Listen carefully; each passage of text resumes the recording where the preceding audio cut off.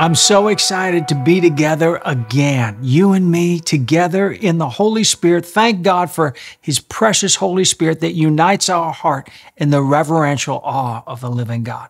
Precious Heavenly Father, we're grateful. We're so thankful for that this is the day that you've made. We can rejoice and be glad in it. And Lord, we come to your word expecting we know that you make great promises to us, but we want to get our antenna up and receive from you. So right now, in the name of Jesus, have your precious Holy Spirit on assignment to teach, unfold, reveal the heavenly scrolls of your promises and blessings in our life. In Jesus' precious name, amen. We receive it. How to have part four, good things. That's what this is called. How to have part four, good things. This is such an exciting series and a very practical application of God's principles. I probably could do four or five more episodes on this theme, but with this segment, we're going to wrap up our series on how to have with good things, how to have good things. In Matthew 6 33, Jesus was speaking to the crowd and he said this Seek first the kingdom of God, and all these things things shall be added unto you. And he dropped this verse in the context of talking about everything from clothing, food, good deeds, money, crops, wealth, good things, you know, this, the stuff that people need every day. And they were worried about being able to obtain for their families, their children. Yes. God is very interested in you getting the intangible spiritual forces like love, faith, hope, joy, peace, all that good stuff too. It's essential to life, but the Lord also talks about the nitty gritty, tangible provisions necessary like housing, food, clothing, and money to pay your tax bill. Jesus said, My Father knows you need these things. God is aware you need good things, and He is also aware that you need to know how to have so that you can possess all these good things. Too often, people have tried to pull from a false belief or a twisted doctrine that puts things, stuff, anything with matter in an evil category. Building a belief that somehow things are of no interest or value to an invisible, holy God but that's just word ignorance, word illiteracy. Colossians 1, verse 16 and 17. For by him all things were created in heaven and on earth, things visible and invisible, whether thrones or dominions or rulers or authorities, all things were created and exist through him, that is, by his activity and for him.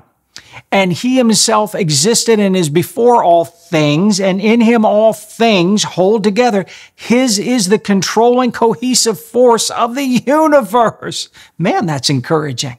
Oh, this should get you excited. Jesus created all things. Did you hear that? In Jesus, all things hold together. He's the connective power and the force that holds together all matter, the controlling, cohesive force of the universe. So relax.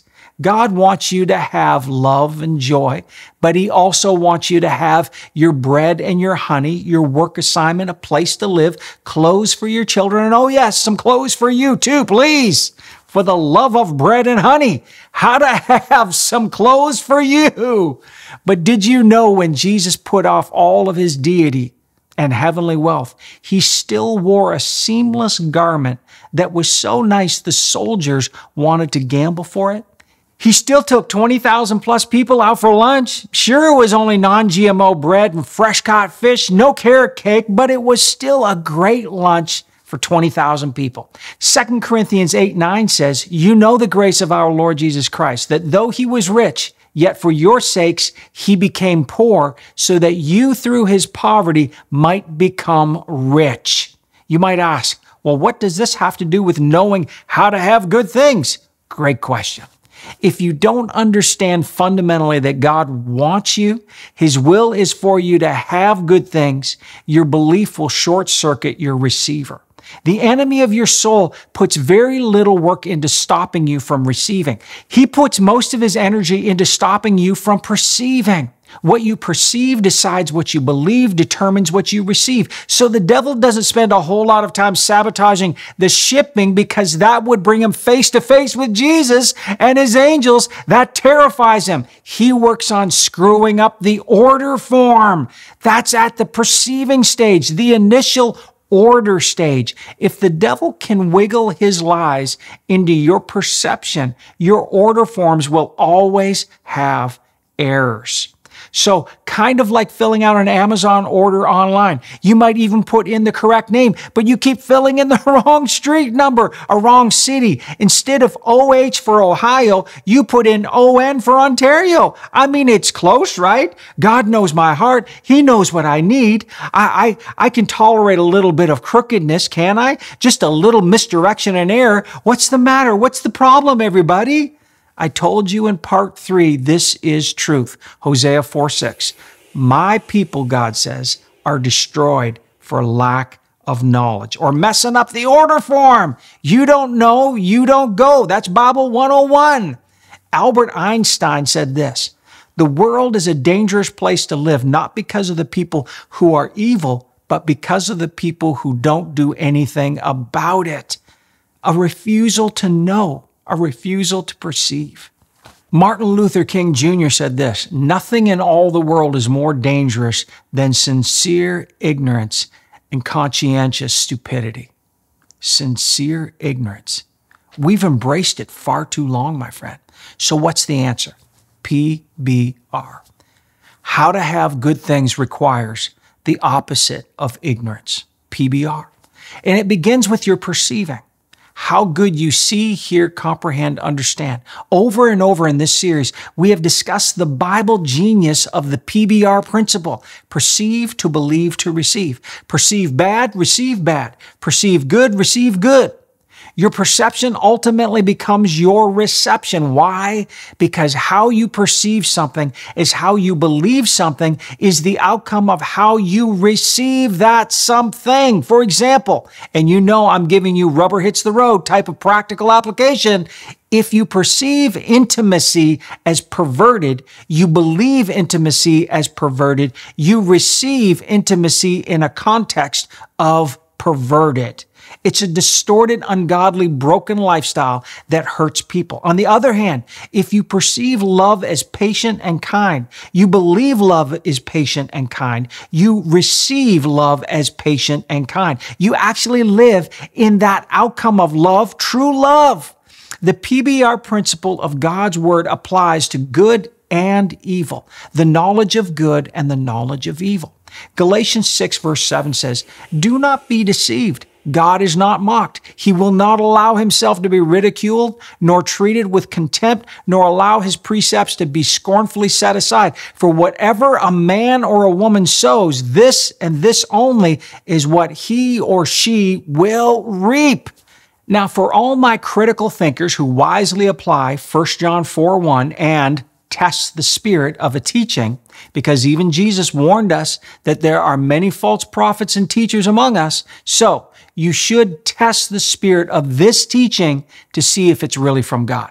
You might be asking, well, maybe the context of Mark 4:25 restricted Jesus' remarks to being only about spiritual revelation and not things. In other words, maybe this whole to him who has more will be given and to him that doesn't have even what he does have will be taken away. Maybe that's just in regard to invisible spiritual things, not stuff, tangible things, relationships, money, business. Is that possible?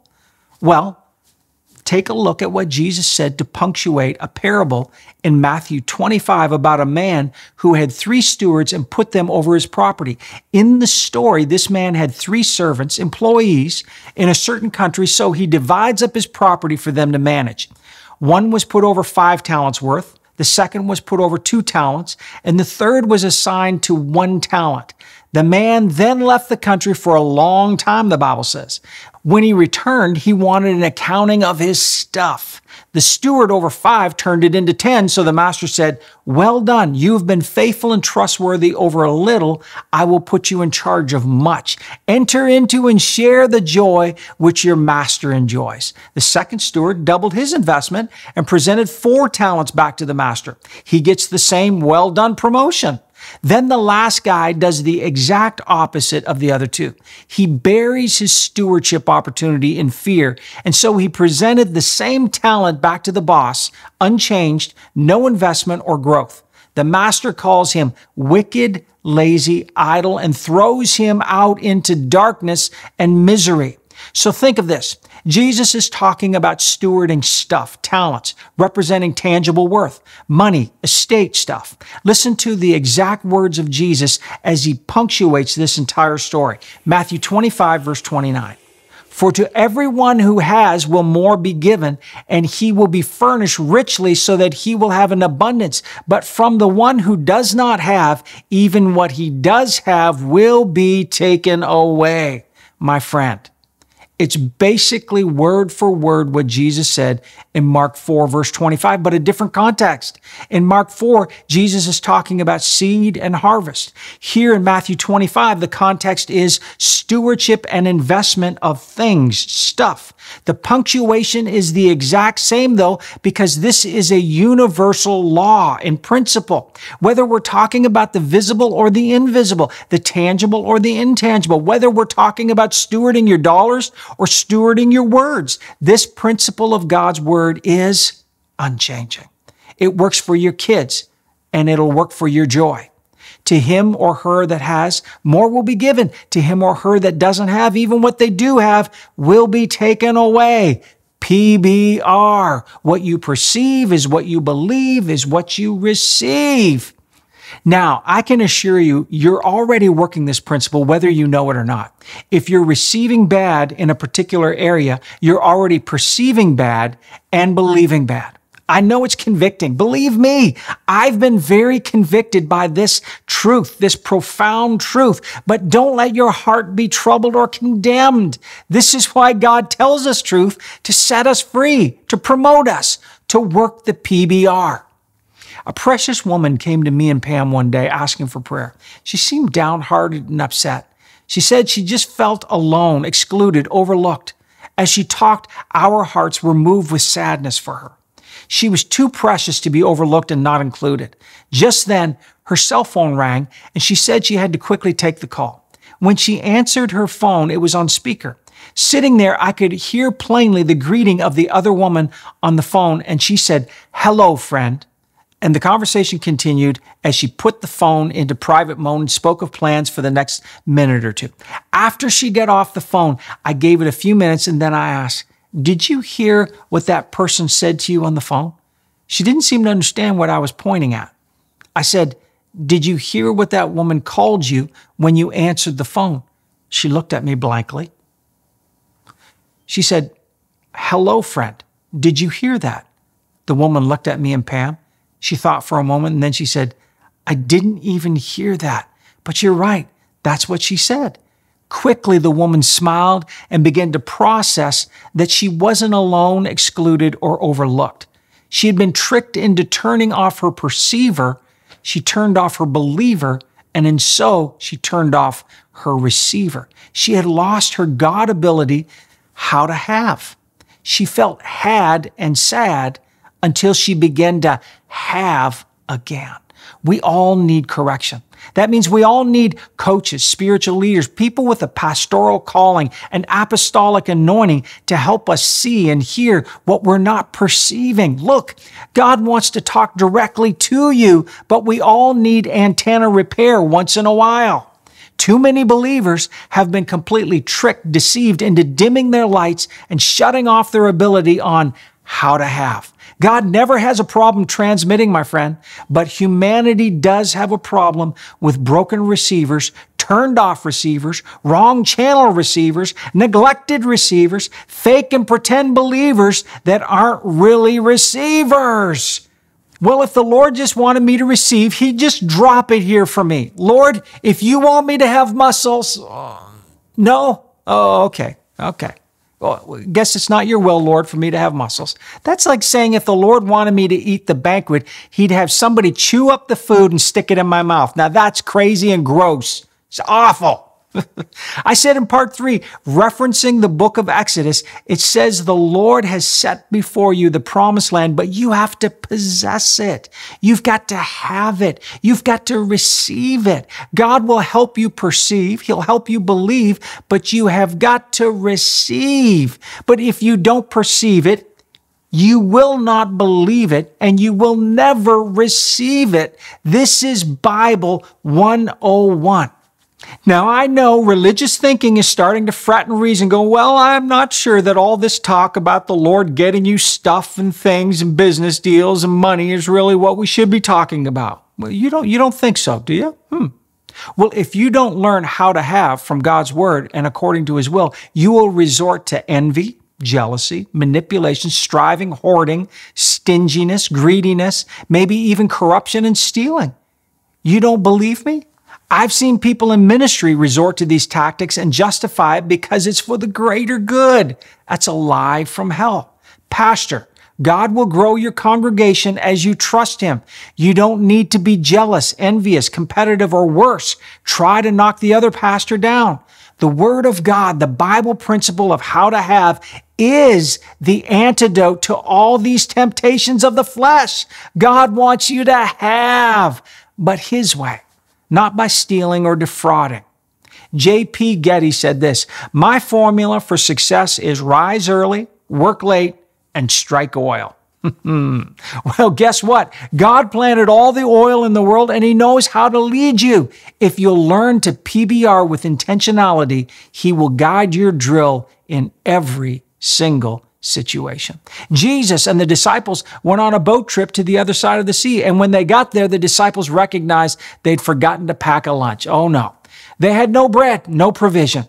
So they began discussing their failure to plan and the fact that they were lunchless, foodless. Well, Matthew 16, starting at verse 8. But Jesus, aware of this, said, You men of little faith, why are you discussing among yourselves that you have no bread, no lunch? Do you still not understand or remember the five loaves for the 5,000 and how many baskets you picked up? Or the seven loaves for the 4,000 and how many large baskets you picked up? The Lord's reminding them of what they had a chance to perceive God's provision. Jesus uses very little to feed very many. He uses a little to make a miracle of a lot. Would we even tell the story of the feeding of thousands of people if Jesus had this whole agricultural supply chain at the ready with transportation trucks full of food? No, absolutely not. We tell the story because Jesus modeled taking a very little to supply an unbelievably huge amount of food. It was miraculous. Matthew 14, starting at verse 14. Jesus saw a large crowd and he felt profound compassion for them and he healed their sick. When evening came, the disciples came to him and he said, This is an isolated place and the hour is already late. Send the crowds away so that they may go into the villages and buy food for themselves. But Jesus said to them, They do not need to go away. You give them something to eat. They replied, We have nothing here except five loaves and two fish. Jesus said, Bring them here to me. Then Jesus ordered the crowds to sit down on the grass, and he took the five loaves and the two fish, and looking up toward heaven, he blessed and broke the loaves and gave them to the disciples, and the disciples gave them to the people. And they all ate and were satisfied. They picked up 12 baskets of the leftover broken pieces.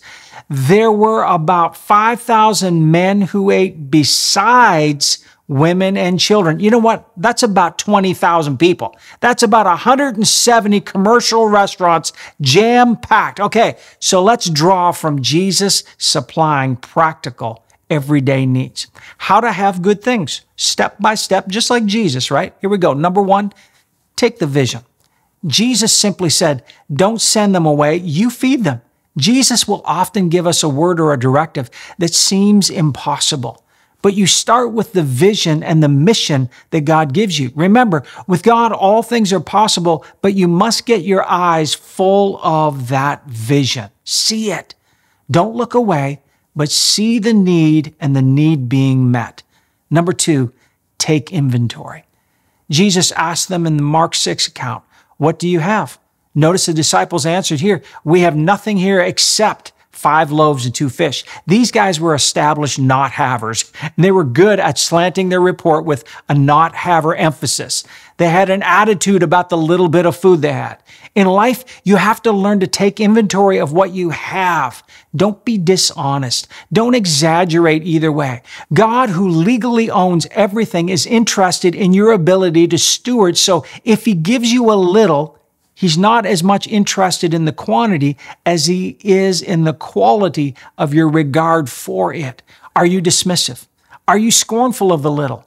Do you despise the pennies, the little opportunities, the people that you think are insignificant and can't promote your cause? The first step in the PBR principle is perceive. Taking inventory is recognizing, but it's also having respect for the seed, celebrating what God has already entrusted to you, which is a perfect setup for the next step. After you take inventory, look at what Jesus said to them to do next. Take it to God. That's what he said in verse 18. Bring them here to me. If you knew God would multiply all the good stuff that you have, then wouldn't you be very quick to bring it to him? When you have a great vision and a tiny bit of provision, you've got a big choice to make. Either hoard your five loaves of bread and despise the impossibility of the dream that'll never happen, or bring it all to God and let Him help you multiply it. Practically speaking, how do we translate this action? How do we take it to God? In the Mark 6 account of this story, Jesus praised God for the supply and gave thanks as he broke and divided up the bread. Jesus lifted it up to heaven and blessed it. He valued it before God. Think of this. Jesus was thankful for those five loaves. What are you thankful to God for today? Now that's having. And then number four, take action. Jesus told the disciples to have everybody sit down on the grass in anticipation of supply.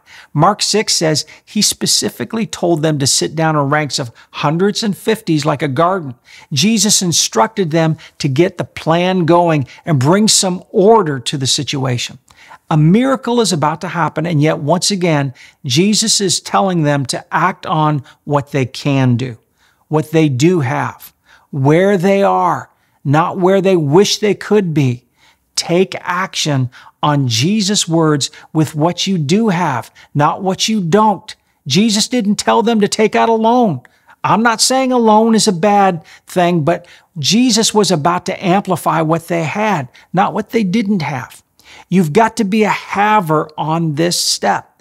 God multiplies what you have, and that goes into how well you've learned the art of perceiving, believing, receiving. Let me remind you at this point Jesus always told the people that he healed, Your faith has made you whole. Your faith has healed you, saved you, restored you.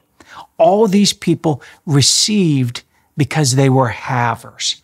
They had perceived, believed, and received. Not because they were good people, righteous, or pretty people. Not because they had fame, money, or influence. They were havers. And then number five, take up the harvest. You're not done. Don't just stay in the sandwich stage. Don't just get your miracle, wipe your mouth, and go on with your life. We've got too many Christians who think the conference was the goal. Life is the goal, my friend. Living the abundant life in Christ is the goal. His glory is the goal, and the win is not in the miracle sandwich. No, God is always outcome minded, stewardship minded. What did you do with the little he entrusted to you? Did you just eat it all up? No. The secret to glorifying God is the many baskets that you pick up after the miraculous feeding. God has no problem multiplying the bread. The real variable here is, are you willing to fill those harvest baskets full? What remains after the crowd? After the event, after the dance. Show me the harvest. The well done God rewards you for is not eating his sandwiches. It's for harvest, the harvest, the outcome. This is the take that is all about the give. Take, take, and then take and take. but it's all God's way, not the world's selfish way. God really wants you to have good things. Romans 8, verse 32. He who did not spare even his own son, but gave him up for all of us, how will he not also, along with him, graciously give us all things? Oh, that's good. 1 Timothy 6 verse 17. Tell people who are rich at this time not to become egotistical and not to place their hope on their finances, which are uncertain. Instead, they need to hope in God, who richly provides everything for our enjoyment. Oh, praise the Lord. God provides. He's not even telling the rich that it's bad to be rich because it's not. He's saying, put your trust in me. Put all your trust in God. That's the main thing. Maybe you're already working the PBR principle to have financial wealth, but you need to work it to have abundant life, to have joy. Work the principle to have peace, happiness, wisdom. Work that principle to have a faithfulness in your relationships, loyalty, honesty. Where do we start with that? You start by perceiving recognizing that Jesus is the Lord. He died for all of your sins, paid the price for your healing, bore the chastisement that purchased your peace. See that. Recognize and perceive that He alone is the way, the only way to eternal life. Pray this with me. Dear Lord Jesus, I need you to save me. You've already paid the price for me. You died on the cross. You rose up from the grave. You promised me everlasting life. I see it now. God loves me. Forgive me of all my sins, Lord. Come into my heart. Now I'm a child of God. In your name, Jesus. Amen. Thank you for sharing this very important time with us. Get our free app with the daily prayer and join us for this Tuesday Talks for an exciting, interactive question and answer and prayer time where we talk about what's important to you. At Living Room Church, you are loved, and together we live life strong.